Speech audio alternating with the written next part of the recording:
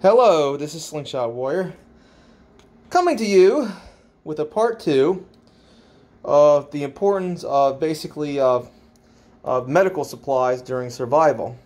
And not just first aid, you need some other things.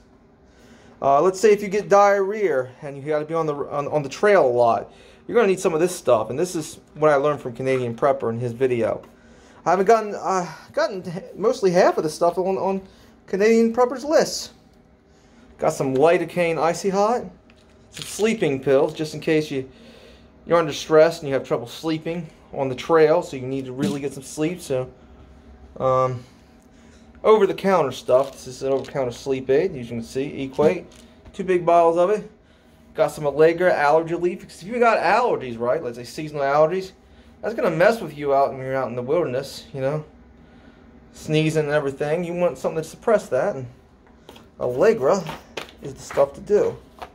The Imodium, the Allegra. This is stuff you're gonna need. Well, more on this later. Bye.